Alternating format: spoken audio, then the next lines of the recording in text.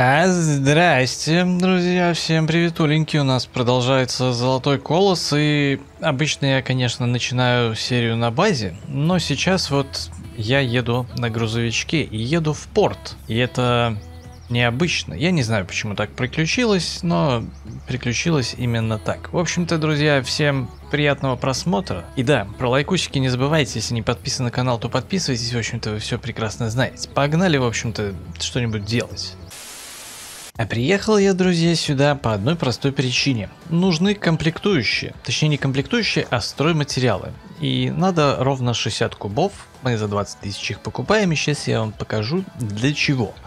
А нужна нам, друзья, эта хреновина, потому что я замутил стройку. И стройку не обычную, а на коровнике. Вот прям вот так вот сразу. Она здесь небольшая абсолютно. И здесь у нас находится склад молока. Требуется для стройки всего лишь 60 литров комплектующих, 60 кубов точнее. И в общем-то мы их привезли. Давайте откроем меню строительной фирмы. И вот он, коровник склад молока. Я заказал стройку в прошлый игровой день. Работа выполняется 0%. В 8 часов утра она начнется. Вроде как довольно, довольно быстро его даже э, построят. Я тут обратил внимание, что на коровнике у нас довольно-таки маленький склад. 150 кубов. Надо его расширить. Хотя хрен его знает, как еще коровки будут давать молочко. На самом деле, после прошлой серии в конце дня посмотрел посмотрев на наш баланс, увидев там 2 миллиона, я подумал, что коровок, друзья, мы все-таки купим еще и на третий корпус. Я это сделал. Тут, правда, есть небольшие проблемы с моносмесью. Она заканчивается. Вот, в принципе, вы можете видеть всю картину, сколько чего было израсходовано за первые сутки. Вода у нас, понятно, пополняется сама, все остальное, ну, можно брать со склада. Моносмеси нету. Моносмесь надо запустить.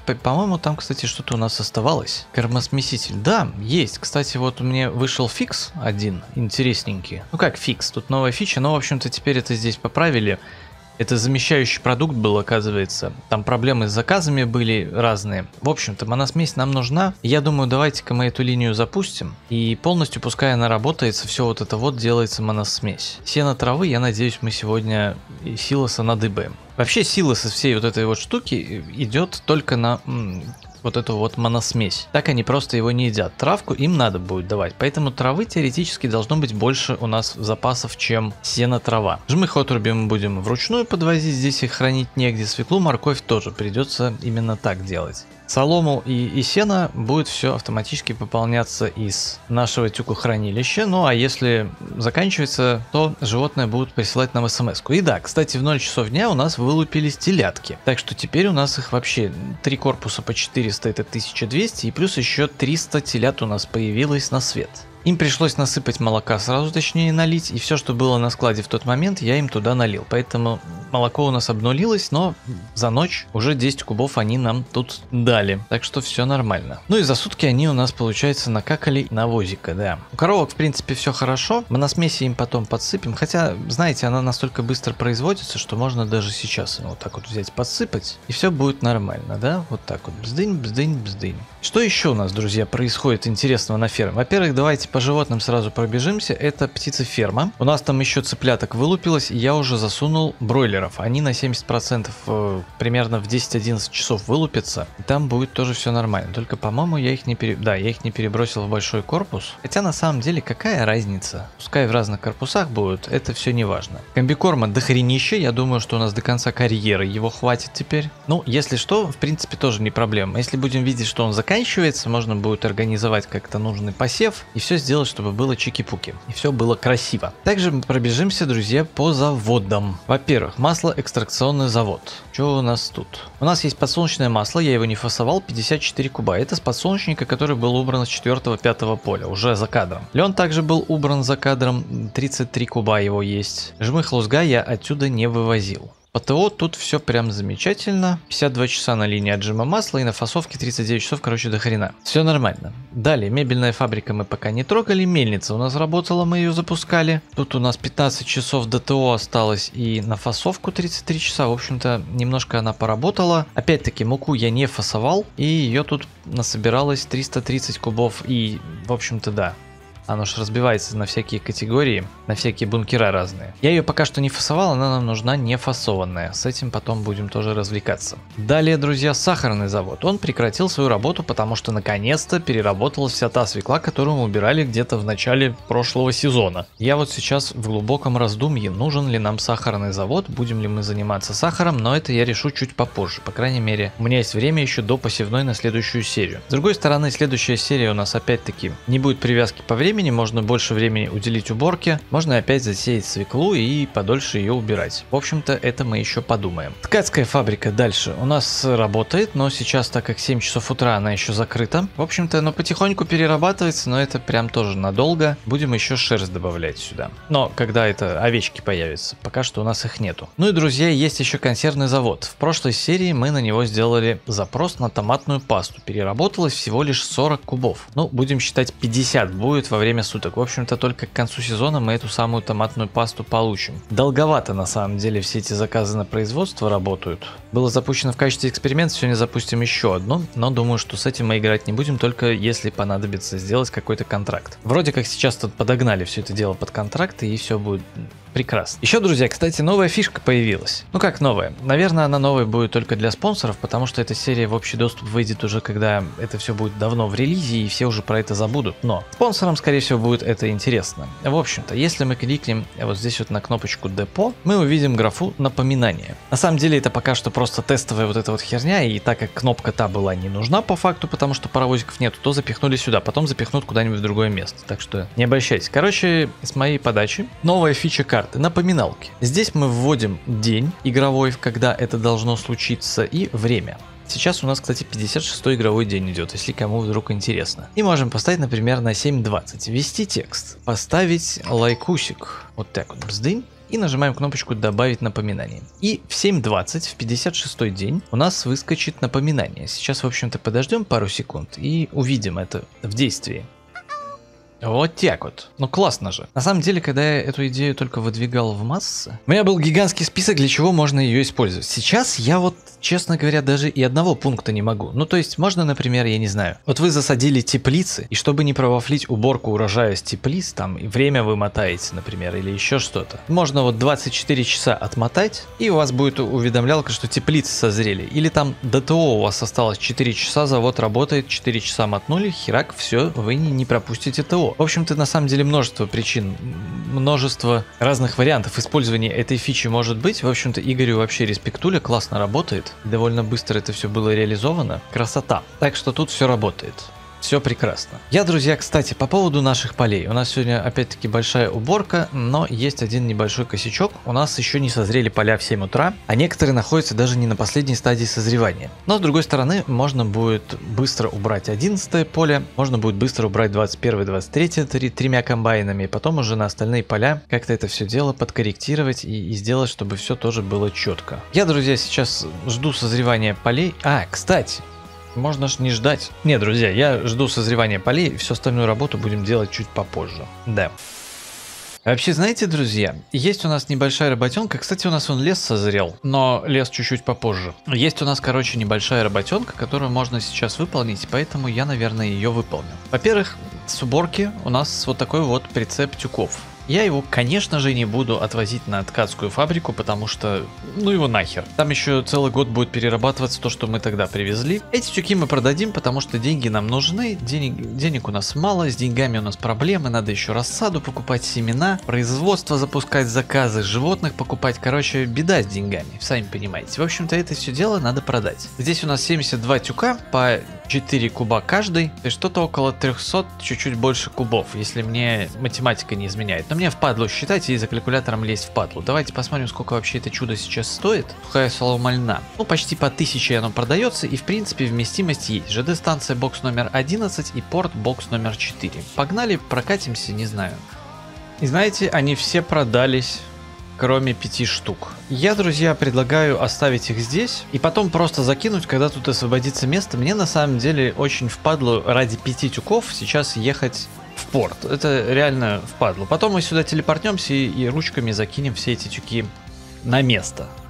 Также, друзья, параллельно у нас созрели теплички. Я, чтобы вас не мурыжить, в общем-то, купил рассаду, поэтому то, что мы сейчас баланс заработали, я мигом это все дело потратил. Опять-таки, клубничка для заработка, потому что все остальное нам пока что не надо. А клубничка тема, как обычно, мы ее будем продавать и кстати, уже в следующей серии получается. Опаньки, у нас тут отработанный грунт не вывезен. Ёшкин кот, а я про... забыл про это. Подумал только... А не, вывезен, это вместимость. Все, тихо, не надо меня пугать. Так вот, тут уже почти все закончилось. 99% плодоношения. В общем-то, тут с минуты на минуту все это дело созреет и уберется. Поэтому этого товарища мы по курсплею, как обычно, отправляем все это дело. Ёшкин кот, сколько тут всяких маршрутов, надо будет разобраться потом с ними. Просто с параллельной картой, на которой я играю, с параллельного прохождения для себя, маршруты остаются, и они переносятся сюда. В общем-то, это дело мы отправляем. Ну и теперь уже точно ждем созревания. А, поле у нас созрело, смотрите, если напротив посмотреть. Ё-моё, так мы сейчас уборку замутим. Ха, погнали мутить уборку. Но прежде чем, друзья, приступать к уборке, мы сделаем еще одно интересное мероприятие, а это еще один заказ на производство. Для этого нам потребуется вот этот вот наш прицепчик для муки, потому что, как я уже говорил, нам нужна мука россыпью и не просто так, потому что я алчный Никита, да. В общем-то, этого товарищу я уже все даже настроил, чтобы э, вас не мурыжить. Мы его отправляем работать. Мельница мука загрузка, он забирает там россыпью муку и везет ее на хлебзавод мука разгрузка. Для того, чтобы все было четко, четенько прям, я ему настроил автогруз, причем так, чтобы он забирал прям нужное количество муки со склада, прям копейка в копейку, то есть мука пшеничная загрузить из склада мельницы, и потом еще раз мука пшеничная, он 5 раз загружает со склада полную, а потом вот не полный прицеп, я ему тут выставил сколько, 30 кубов, а всего тут 33 вмещается. Короче, чтобы все было прям четко-четко, я тут все подстроил, все классно. И плюс это, кстати, должно сэкономить время. Всего ему надо будет сделать 10 поездок, и поездки, друзья, не самые,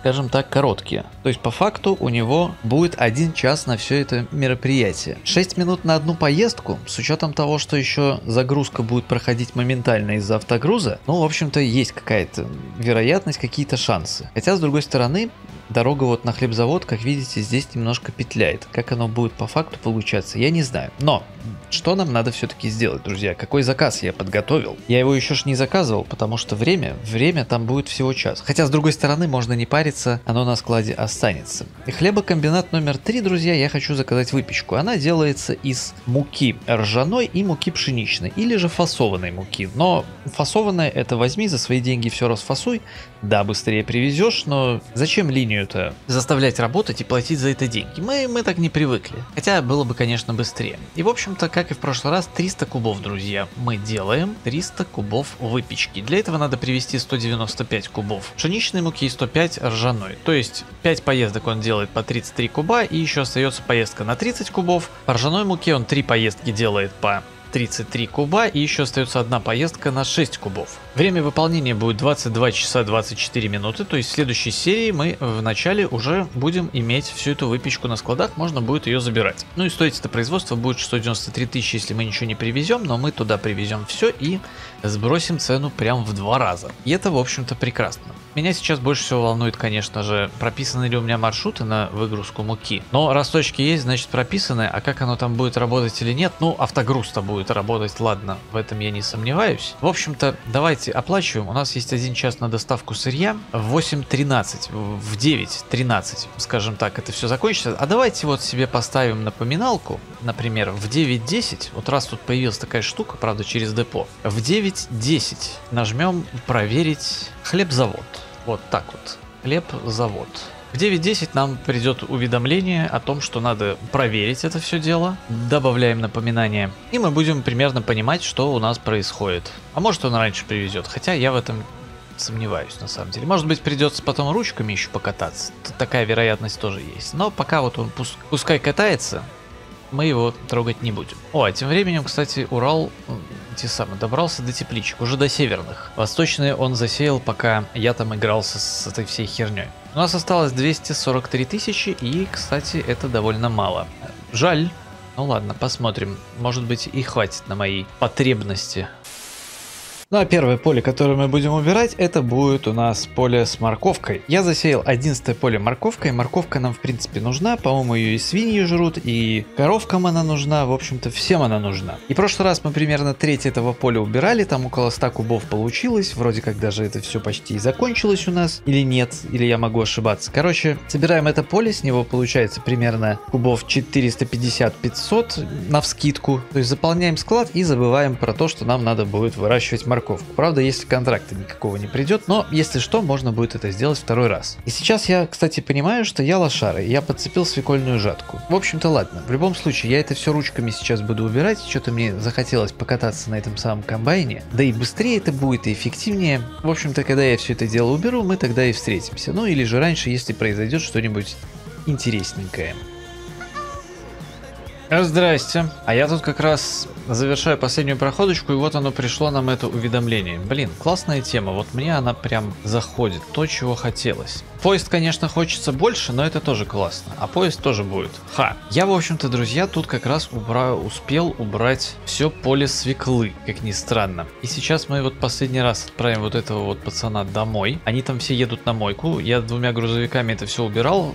Тот, наверное, тоже уже то ли приехал на мойку, то ли еще едет. Надо будет посмотреть еще, как дела у нашего муковоза, но судя по тому, что у нас осталось 4 минуты, а он едет заполненный, значит, он едет еще не последнюю доставку. Это значит, ну, не очень хорошо хорошо все. Можно открыть меню, заводы, хлебокомбинат. Эм, да, еще надо выгрузить ему один прицеп и съездить еще за одним, а время ожидания осталось 3 минуты. Ни хренашеньки он не успеет, но, друзья, можно попробовать это сделать вручную. Вот он как раз пошел разгружаться. Хрен его знает, за 3 минуты я успею это сделать или нет, но полетели. Не, друзья, таки не успел я это сделать. Заказ на производство отменен, мне вернулось 338 тысяч. Но, насколько я знаю, если мы сейчас закажем выпечку на те же самые 300 кубов и скажем, что мы опять все привезем и нажимаем оплатить, у вас есть один час на доставку сырья и да, вот надо 6 кубов эти привезти, поэтому, товарищ, тогда давай, едь, разгружайся и потом на парковочку. А мы возвращаемся к нашим баранам. Тут у нас все выгрузилось, так что ты тоже давай есть, разгружайся и на парковочку. А ты, товарищ, мы тебя складываем, и жатку мы тоже складываем, все складываем, прям вообще, чтобы был сложенный сложенный, и по автодрайву на автомойка база, давай тоже едь, доедешь, ты доедешь, у тебя все будет прекрасно. В общем-то, с этим все понятно. Поле, кстати, вот это вот уже культивируется тут вовсю. Я уже давно его запустил. Взял немножко фора себе, хотя можно было его параллельно запускать. Я быстрее убирался, чем он культивирует. Короче, пусть культивирует. Можно вызвать еще самолетик, это все дело удобрить. Вот так вот еще 2600 мы тратим, а? Какая жалость. С деньгами беда. Ну ладно. В общем-то, погнали смотреть, что еще можно поделать. Здрасте. А смотрите-ка, что нам тут, я тут технику расставляю. Контрактик пришел. Крупа овсяная, 209 кубов. Время выполнения 57 часов. Если мы все уберем в следующий раз и запустим крупорушку, то останется примерно 24 часа на выполнение. То есть крупорушка должна будет проработать 24 часа. То есть у нее времени на это останется. А у нас скорость крупорушки, она же прокачана до третьего? Она прокачана, 45 кубов. Слушайте, можно брать. 209 кубов. 65% у нас на выходе будет. То есть, если мне не изменяет математика, то нам нужно собрать примерно 322 куба овса, чтобы все это дело получить, переработать и получить крупу овсяную. Контракты нам нужны, рейтинг хочу качать. Поэтому этот контракт я принимаю. На всякий случай мы засеем два прям больших поля с овсом. Я надеюсь, что этого должно будет хватить. Можно даже три. На всякий случай. Да, Итак, друзья, с контрактом у нас все понятно. По крайней мере, это отвечает на вопрос, что мы будем сеять. И на самом деле я вот люблю, когда есть план, когда надо что-то делать. Иногда у меня фантазия меня подводит. Чем бы заняться, чтобы посеять, и получается неправильно. Но это все не важно. В общем-то, мы запустили работу на поле. Я надеюсь, у них будет все в порядке. Вроде как они нормально работали в прошлый раз. Одному из двух комбайнов, который справа работает, я еще выгружать соломку отправил. Пару тюков мы потом сделаем. Тут, в общем-то, все ясно. Надеюсь, они меня тревожить не будут. Вот прям очень надеюсь. Но если придется отвлекаться, ну, значит буду отвлекаться. В принципе, можно даже три комбайна зарядить было и самому на грузовичках покататься. Я это уже практиковал, в принципе, довольно веселое занятие. Ну ладно, пока не будем этого делать, погнали, друзья, на базу. Благо, она у нас тут рядом, нам надо запустить нашего Урала, чтобы он съездил за семенами овса, потому что овес мы давно не сажали, семян у меня нету. Я ему уже настроил автогруз, я ему настроил автодрайв. Четыре поездки ему надо сделать, три раза съездить за овсом и один раз за свеклой. Все-таки я решил, что свеклу мы посеем и запустим еще немножко, пускай поработает сахарный завод. Не так много мы будем собирать свеклы, я думаю, как раз до конца сезона должно будет хватить. В общем-то, товарищи мы отправляем, и он должен будет все нам привезти. Ну и, друзья, самое веселое, чем я сейчас буду заниматься, это наш лес. Я, в общем-то, не знаю, получится у меня сейчас это сделать или нет, или я психану, но я хочу его весь выпилить вот прямо сейчас. Не знаю, сколько времени у меня на это уйдет, и что случится быстрее, поле уберется, или я тут уберусь, хрен его знает. Но, в общем-то, если случится что-нибудь интересное, или я вдруг закончу это, вот тогда мы и встретимся. Сейчас у нас 9.34, хрен его знает, сколько времени у меня на это уйдет. В общем-то, я пошел пилить и пожелайте мне удачи. А, друзья, отставить, я еще про одну штуку забыл. Во-первых, заводы, хлебокомбинат. У нас пошло все вот это вот дело производиться. 4 куба уже сделалось почти этой самой выпечки. Она потихоньку тут вот выполняется. Я думаю, что а, ну что я думаю, там было написано 22 часа на это уйдет. Это будет быстрее, чем томатная паста, которую мы зарядили выполняться. С этим понятно. Далее, друзья, у нас вот эту всю пшеницу э, будут возить на мельницу. Поэтому здесь мы можем запустить мукомольную линию на помол пшеницы. И, друзья, так как мука россыпью нам не нужна, фасованная стоит намного дороже, мы запускаем еще и фасовочную линию. Сначала мы зафасуем вот эту вот ржаную муку, и пускай он мне уведомление кинет, как он закончит. После того, как он закончит, я закину фасоваться пшеничную муку. Ее у нас будет много. Здесь 267 кубов, плюс еще дохренища мы соберем с поля. ПТО 15 часов еще она может проработать, нормально, а фасовочная линия 32 часа, в общем-то все нормально. Я надеюсь, что они все справятся и к завтрашнему дню все это дело переработается. С учетом того, что сейчас скорость переработки у нас повысилась уже третья стадия, третьего левела у нас прокачана мельница, то все это должно быть относительно быстро. Я, по крайней мере, на это надеюсь. На сахарном заводе, кстати, у нас, может быть, его прокачать стоит? Может быть и стоит, действительно. Ладно, займемся этим попозже. В общем-то, я пошел пилить, и, как я уже говорил, пожелайте мне, мать его, удачи. Значит, друзья, прошло сколько-то времени, хрен его знает сколько, я забыл уже сколько я там засекал, это не важно. Я спилил два ряда деревьев. И знаете что? Ну его нахер, короче, у меня сейчас нет ни малейшего настроения этим заниматься, а вот серию закончить мне сегодня хочется, поэтому я решил вот это вот все дело отложить на потом. Завтра вечером, может быть, у меня как раз вот послезавтра выходной, можно будет устроить большой длинный стримец какой-нибудь для спонсоров, например, и вместе весело все эти деревья попилить и отвезти на мебельную фабрику фабрику, когда разберемся с полями, когда будет свободное время. Сейчас, в общем-то, ладно, хрен на нее, на эту площадку, хрен на нее даже на траву, наверное. Есть, друзья, другие задачи немножко, тоже, которые хотелось сегодня выполнить, и погнали их выполнять. В первую очередь, друзья, вопрос, который хочется решить, это денежный. 214 тысяч денег у нас всего лишь есть на балансе. Это очень мало для решения тех задач, которые у меня были поставлены на сегодня. Поэтому, во-первых, есть возможность избавиться от жмыха, во-вторых, нужно избавляться от жмыха, у нас его много. Ну и в-третьих, как раз решить все финансовые вопросы. Сейчас очень много на Белореченском зоопарке готов себя принять на ЖД-станции вот этот склад 476 кубов. Это довольно много. Это 8 поездок поездок вот таких вот по 59 кубов, поэтому я предлагаю на 8 поездок этого товарища отправить все это дело возить. Сахарный завод Жмых загрузка и ЖД, где ЖД? Вот ЖД, ЖД станция, склад сыпучих. И возить будем Жмых. Во, 8 раз съездит, вернется потом на базу и все у него будет замечательно. Давайте только его на дорогу вот сюда вот выведем. И все, пускай катается, 1100 с копейками он нам принесет, даже больше. Около 20 тысяч с прицепа будет, так что 160 тысяч вроде как он нам должен принести. Надеюсь, это решит наши финансовые сложности на эту серию. Далее, друзья, еще одна проблема. О, приехал, приехал, молодец. Но не проблема, а Задача. Надо, друзья, немножко собрать соломы, травы и силоса. Начнем мы с соломы, и я подумал, что на сегодня, именно на сегодня, одного вот этого прицепа, то есть мы нижний слой загрузим тюками с соломой, потом второй слой с травой и третий слой с силосом, и этого должно будет хватить для сегодняшних, так сказать, мероприятий. Поэтому давайте вот это вот все дело сейчас соберем один прицепчик, вот здесь вот, остальное перепашем в землю, не проблема.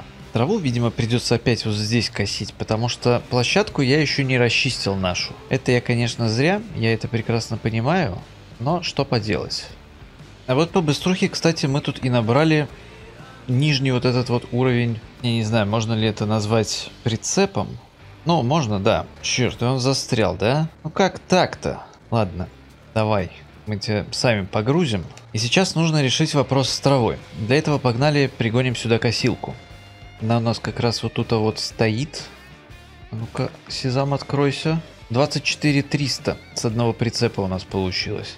Это же мы их продался. Там, кстати, с автоба, с этого сахарного завода довольно близко ездить на ЖД-станцию, поэтому должно получиться прям вообще быстро. Ну а после того, как он съездит, он вернется на автомойку. Вот так это все работает.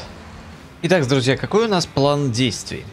Значит, собираем траву, Сзади я за собой на косилке буду катать вот этого тюковщика, он будет выключен. И я буду просто косить. Сзади на Follow Me будет ездить трактор, который будет тюковать это все дело, а сзади будет ездить ман, который это все будет дело подбирать. И когда мы собираем сколько там надо тюков, 24, по-моему. Я поменяю местами тюковщики, и класс будет ездить уже с этой тюколкой тюковать и обматывать. Я буду продолжать ездить косить с выключенным другим тюковщиком. Да, на этой косилке можно сразу же этот тюковщик включить, но я, друзья, не хочу вот это вот останавливаться, выгружать, обматывать, выгружать. Я хочу просто ехать и буду за ними наблюдать. В принципе, наверное, можно даже таймлапсик забубенить, почему бы и нет. Давайте только косилку мы откроем. И надо сделать, чтобы он по центру это все дело травку оставлял. Сколько тут травы будет, я без понятия. В прошлый раз вроде как мы нормально накосили на целый прицеп. Или не хватило там на целый прицеп, я не помню. Ну, короче, если не хватит, поедем на другое поле а, обкашивать траву там. Потому что площадку я еще не подготовил, каюсь грешен, а тюки нам нужны. Так, волок соломы, насколько я понимаю, надо поставить рабочую сторону. И с косилкой у нас все понятно. Далее, надо вот этого вот товарища тоже завести, включить. Включить тюколку и включить ему без всяких смещений только. Follow me. Вот так вот, все отлично работает. Ну и, конечно же, мана с автоподбором мы тоже запускаем. Он тут немножко подзастрял, и сам он, видимо, да, не выберется. Ничего, я сильно, я его вытащу, не проблема. Этого товарища мы тоже цепляем на follow me. Нами тут мешает объект. Что за объект ему мешает, хрен его знает. Но вот так вот вроде ничего не мешает. Замечательно. Я, в общем-то, погнал косить, буду смотреть, как там что. Если все, конечно, запустилось. Но вроде же должно было запуститься, я не знаю. Едете вы за мной? Нет? Едут. Отлично. В общем-то, косилку мы включаем, опускаем и поехали косить. Мы вот так вот вот едем. За нами остается вот такой вот волок. Ну и сзади тюколка будет все это дело тюковать, а ман сзади будет ездить это все подбирать. Ман же не за косилкой поехал, он же не может ехать за косилкой, правильно? Да, мне нужно будет останавливаться периодически, чтобы они не отвалились, следить за всем этим, но, по крайней мере, не надо будет тыкать на кнопки и смотреть, как оно там выгружается. Я буду просто ехать. В общем-то, когда я набью прицеп, друзья, мы встретимся. Или все-таки таймлапс, нет? Нет, тут некрасивый таймлапс получится. Встретимся, когда я все доделаю. Ну что ж, друзья, в общем-то, много времени у меня на это ушло, но я тут больше времени, конечно, пытался подгонять это все дело как-то под э, ровность, что ли, считал, высчитывал, где что. Так что тут Странная ситуация получилась. Давайте мы всю вот эту технику, которую мы использовали для покоса, выключим и оставим здесь. Кстати, маленький тюковщик не цепляется к этой косилке. Зато цепляется вот к этому прицепу, поэтому я его катал за собой здесь. В общем-то, подбираем последний тюк, и у нас, друзья, стоит здесь ровненько, четенько по 24 штучки каждого вида. Технику, как я уже сказал, мы пока оставим здесь. Погнали, отвезем эти тюки туда, куда я запланировал их отвезти. Кстати говоря, у нас нас 408 тысяч на балансе, у нас там жмыха продалось много. Давайте посмотрим, что там да как у нас со жмыхом. От него можно избавляться вообще полностью, если так посмотреть. Он у нас лежит на сахарном заводе. Еще осталось 300 кубов на сахарном заводе. Еще до хрена, кстати, лежит на маслоэкстракционном. Тут лежит еще 750 кубов. Про запас можно, знаете ли, соточку оставить. От всего остального можно избавляться. Мельница у нас работает. Уже привезли туда 290 кубов пшеницы. Ржаная мука тоже уже фасуется, половина зафасовалась. Тут, в общем-то, тоже все хорошо. Ткацкая фабрика работает, у нее тоже все хорошо. Она медленно работает. Хлебокомбинат уже 25 кубов сделал выпечки. Это не похоже, если честно, что он за 24 часа все сделал, за 22. Ну ладно. В консервном заводе уже 50 кубов выполнен, даже больше. Но тут понятно, тут долго это все будет делать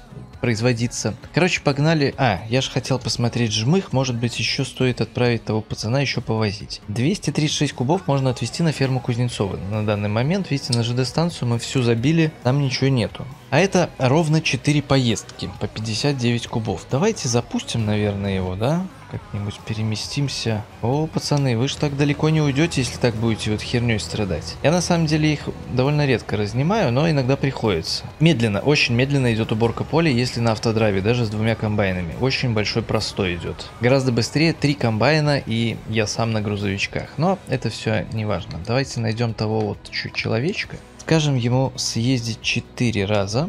После этого пускай он уже едет на парковку. А, не захотел он здесь загружаться. А, ему, кстати, на ферму Кузнецова надо, а не на ЖД-станцию. Ферма Кузнецова. Кузнецов выгрузка, во. Он туда, он пускай едет, катается. Кругаля решил сделать, ничего страшного. Мы возвращаемся обратно сюда вот на поле. Погнали, в общем-то, отвезем тюки туда, куда я хотел. А привести я их решил, друзья, на овчарню, потому что надо, друзья, еще завозить нам и овечек. Как же без овечек-то? В общем-то, здесь точно такой же склад тюков находится. Может быть, он, конечно, меньше по размеру, но в сути это не меняет. В общем-то, выгрузим сейчас сюда тюков, прицепчик, и вроде как должно у нас все быть хорошо. Надо проехать только аккуратненько вот здесь вот по триггеру не перевернуться и не, не рассыпать тюки. Все нормально. Бздынь, бздынь, бздынь. Все попадало, это прекрасно. Ну и мана мы тогда глушим и погнали посмотрим, во-первых, на этот склад, как оно там стало. Все ровненько в ряд, видите, все одинаковое все есть. Погнали смотреть по менюхам. Во-первых, склады. Склад тюков овчарня. Тут у нас, в принципе, все есть. По 96 кубов привезли. Нормально. Далее, друзья, животные. Подсоединяем склады. А, они уже подсоединены. Склад круглых тюков и силосная башня. Больше ничего не надо. Нужно, по сути дела, силос. Он у нас есть. Сено трава. Это у нас есть. Вода. Надо починить башню. Молоко. Это только молодым мы потом привезем. И солома, которую мы тоже привезли. А значит, друзья, мы можем купить овец. Только да, погнали сначала башню починим, только я не помню даже где она находится. Видите башню водонапорную? Я вот не вижу. О, вижу, увидел. Погнали, пробежимся. Дынь, дынь, дынь. Опаньки, монетка где-то. Вот она. Здравствуй, монетка. 62 штуки осталось найти. Вряд ли я их, конечно, найду, но не важно. Итак, 7900 мы на устроение чиним. Она загудела, заработала, все прекрасно. Ну и давайте тогда покупать овечек. Я же говорил, что нам деньги нужны. Э, на овечек нужны были. Овечки, благо, не так дорого стоят, как коровки. У нас есть два корпуса по 500 штук и корпус для ягнят. Они будут плодиться эти по 500. Я предлагаю, друзья, купить по 400 каждый корпус. И это будет стоить по 150 тысяч денег за корпус. Того 300 тысяч мы тратим. Может быть разных взять? Белое, бурое, черное. Давайте белых возьмем. 400 штук в один корпус. Давайте в первый корпус черных возьмем. Да, черных 400 штук. Вздынь. А во второй корпус берем белых, 400 штук. Итого, у нас тут все хорошо. Заполняем им вот это вот все дело. Им как раз должно всего хватить. Ну, ягнятам тоже, соответственно, мы это все дело заполнили. Солому они уже начали использовать. Это прекрасно. Итак, у нас тут все в зеленой зоне. Молоко 100%. А откуда оно здесь взялось? Или я его... Черт, я им случайно купил молока, да? Да, я им купил молока случайно. Сорян. Можно было, конечно, перевести, сэкономить на этом. Ну ладно, 12 тысяч, так 12 тысяч. Он зажмыха сейчас это все дело окупится. Так вот, у нас все по 100%, все в зеленой зоне, все прекрасно. Продуктивность 100%, уже они начали какать сразу же, вот только приехали и сразу же обосрались. 55 литров, кошмар. И начали давать нам шерсть. Посмотрим, сколько за сутки появится у нас шерсти и будем что-нибудь с ней делать. Посмотрим, как быстро будет она перерабатываться в пряжу. Тут у нас вот тюков еще поосталось чуть-чуть. Я думаю, на следующий, до следующего дня хватит им как-то это все дело продержаться, и мы как-нибудь уже будем решать эти проблемы с тюками. Впереди, друзья, уборка полей. Вот это вот все надо будет сделать. Лес надо будет весь выпилить и перевести на мебельную фабрику. Весь его сразу туда не перевезешь. Не знаю, как я его буду складывать. Может быть, буду потихоньку водить время мотать, чтобы это все дело работало. Хрен его знает. Я пока никаких идей у меня нету. В первую очередь, друзья, надо убрать поля. Это первоочередная задача, чтобы замутить посев Правда, поля еще не все выросли. Я, друзья, думаю, что завтра я проведу стримец на эту тему. Не знаю, открытый-закрытый. Наверное, для спонсоров он все-таки будет. Если хотите участвовать в таких стримах, в общем-то, знаете, что делать. Как-то у меня, знаете ли, нет настроения в последнее время на стримах общаться. Че они там застряли, а, товарищи? А че вы поехали друг на, напротив друга внезапно, абсолютно? Вы что попутали вообще? Черти.